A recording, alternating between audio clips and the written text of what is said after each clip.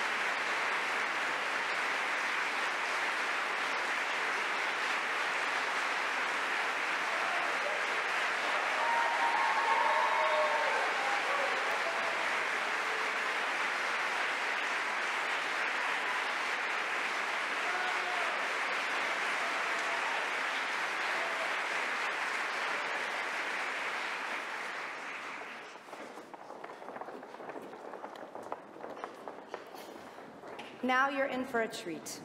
Our next piece is a brand new medley of five songs from Mary